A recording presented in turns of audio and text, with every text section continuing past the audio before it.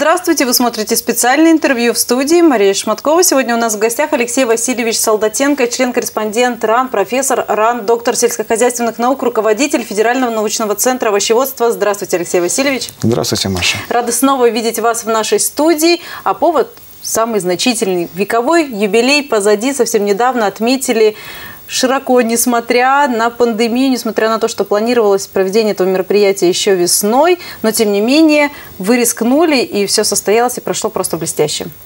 Да, спасибо. Действительно, э, этот год знаковый для Федерального центра овощеводства, столетие. Это бывает не так часто, поэтому мы готовились давно, практически три с половиной года, как я находился э, во главе учреждения, мы готовились к этому событию. И, к сожалению, пандемия внесла коррективы. Мы планировали в марта этого года начать праздничные мероприятия, но, к сожалению, пришлось подкорректировать свои планы, но запланированная на сентябрь конференция международная состоялась успешно, и я доволен, что мы ее провели.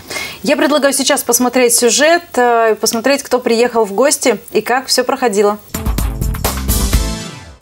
Елена Козырь, как и ее коллеги, рабочие будни проводит в лаборатории. Чтобы написать диссертацию, придется провести не один десяток тестов и обработать очень много информации.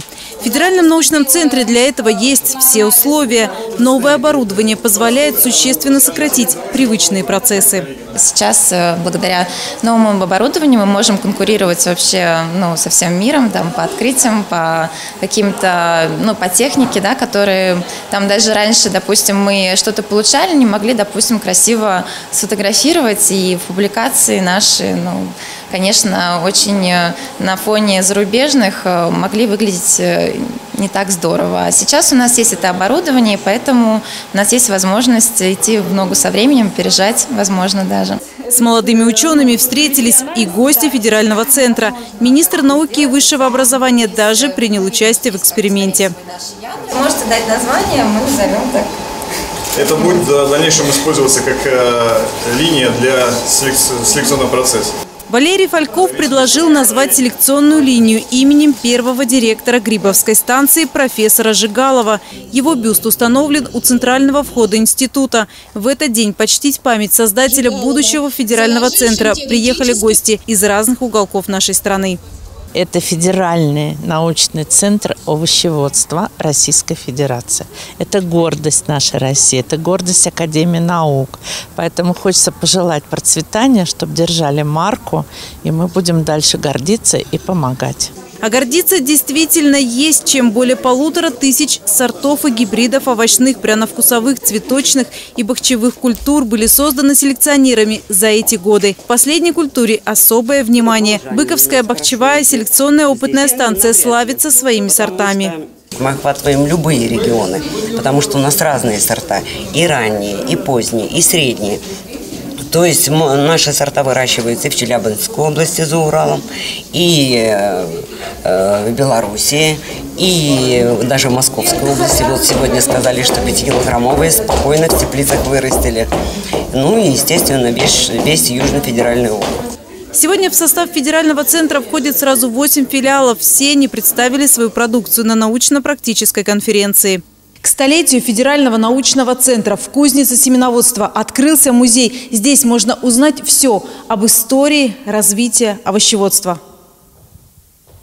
Чтобы глубже погрузиться в историю развития овощеводства страны, обязательно посетите музей. Здесь можно увидеть приспособления, которыми в начале прошлого столетия обрабатывали почву и получали первые сорта овощных культур. Кстати, семена здесь тоже представлены. А еще огромное количество архивных документов, научные труды и заметки первых ученых.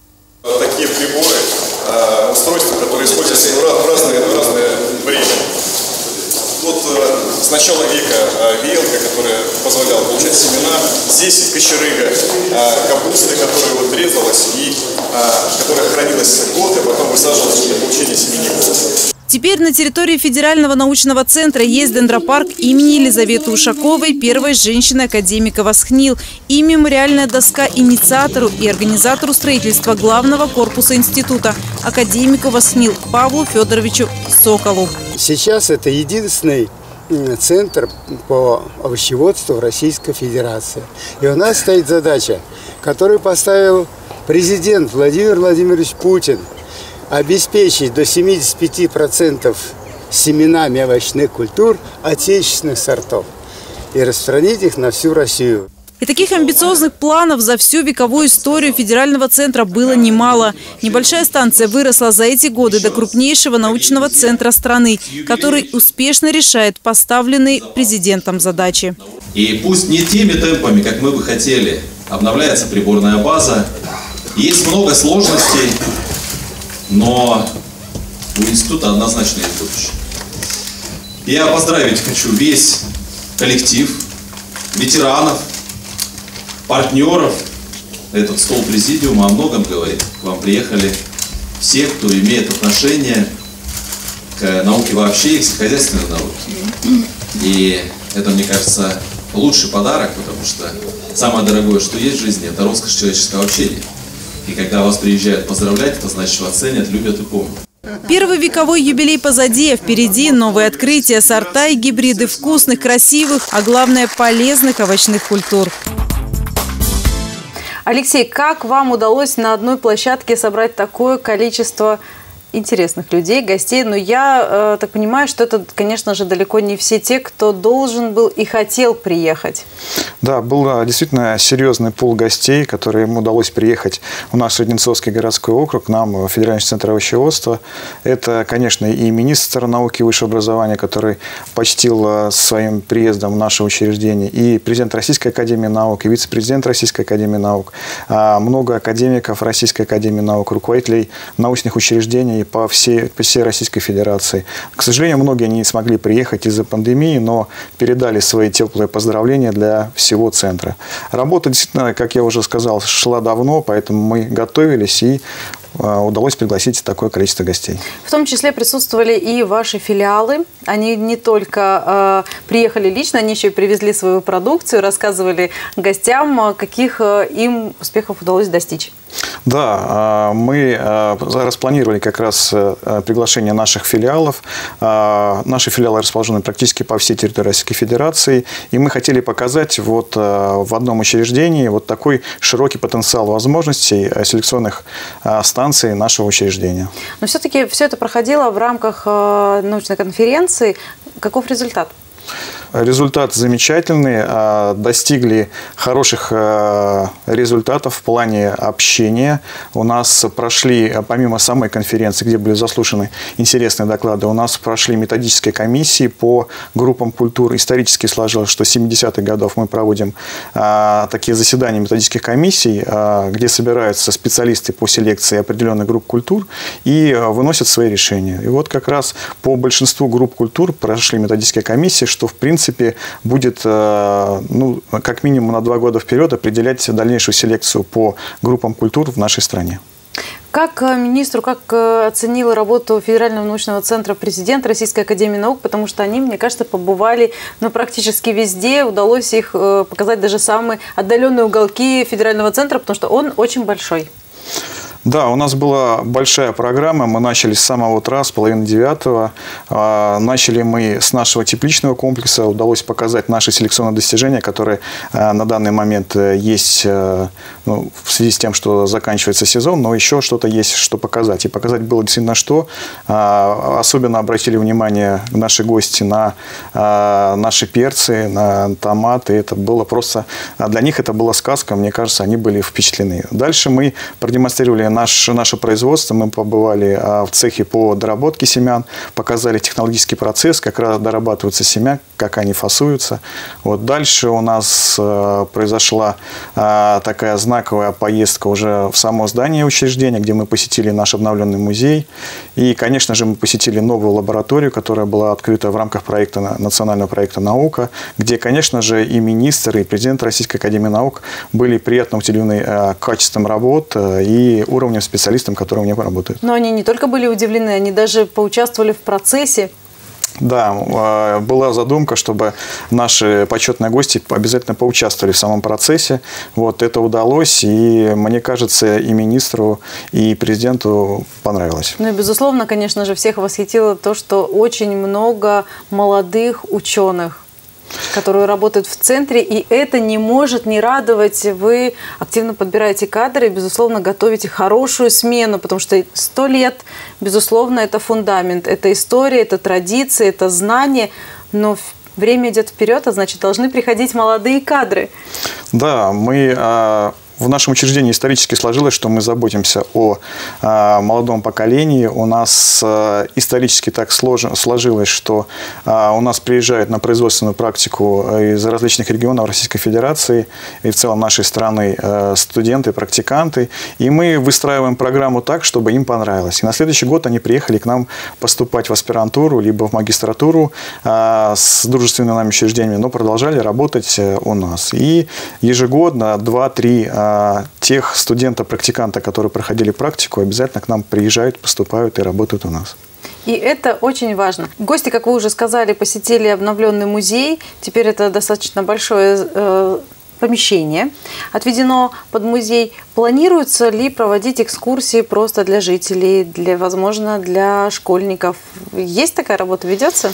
Да, мы э, всегда взаимодействовали хорошо с нашими школ, школами Одинцовского городского округа, даже с детскими садами, проводили экскурсии в музей.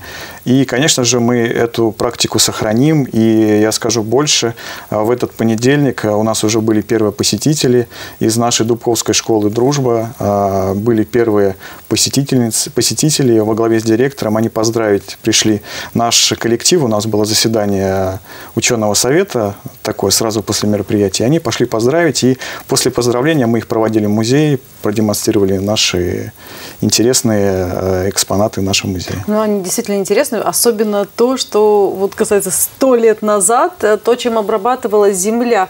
Глядя на эти орудия труда, ну, прям диву даешься.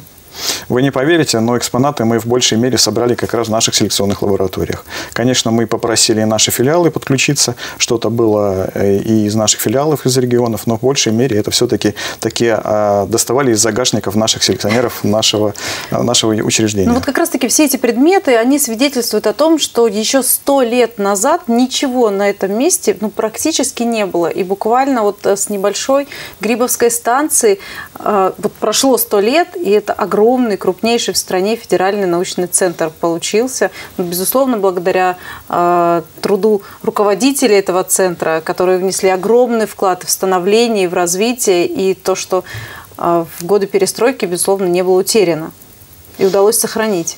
Да, это действительно была проведена большая работа, и, а, конечно же, когда-то все это начинается с нуля, но постепенно, постепенно, когда коллектив заряжен на правильную задачу, э, коллектив приходит э, к результату. И, конечно же, вы правильно отметили, что здесь немаловажна роль руководителя. Нам повезло, у нас были замечательные руководители и в Грибовской станции, и в Всероссийском научно-исследовательском институте селекции семена-уставочных культур. Так что мы двигаемся в правильном направлении. К юбилею открыли дендропарк.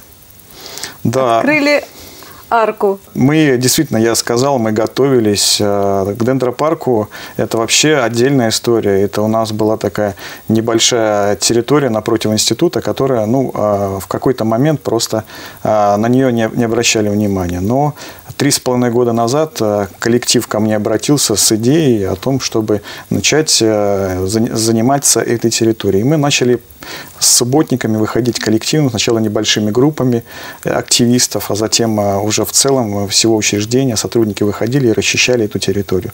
Нам удалось ее расчистить э, за три года. Мы ее облагородили, и теперь это э, по задумке, теперь это не только выставка достижений нашего центра, это теперь и выставка достижений селекционной науки отечественной.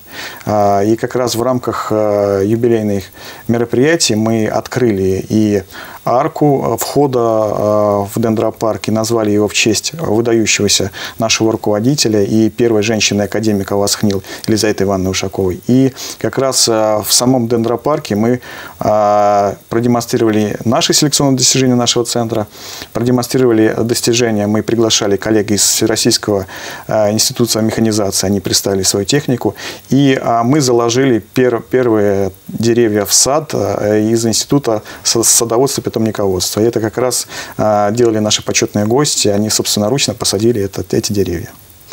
Алексей, сто лет позади, что впереди? Какие планы? Впереди планы грандиозные, а, поскольку мы а, государственное учреждение. Государство нам поставило крайне серьезную задачу – это решение доктрины продовольственной безопасности, обеспечение нашего населения качественными овощными продуктами и семенами. Эта задача стоит перед коллективом, и мы будем двигаться по ее решению. Как сказал на научной конференции министр науки и высшего образования, вам это по силам? А, если министр... На вас возлагают большие надежды. Если министр так сказал, я а, с ним не буду спорить. Будем работать. Будем оправдывать. Да, да. Ну и, конечно же, хотелось в завершении нашей программы, чтобы ты несколько слов сказала о своей команде, о своем коллективе, без которых, конечно же, ничего бы не получилось и не состоялось.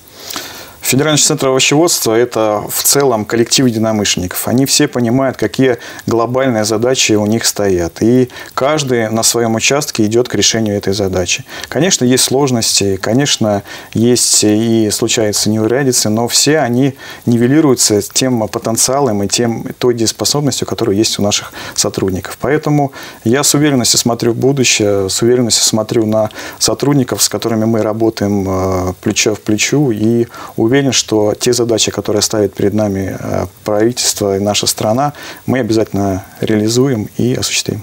А мы еще раз поздравляем вас с юбилеем. Спасибо за интервью. Спасибо. Вы смотрели специальное интервью. Оставайтесь на нашем канале. До свидания.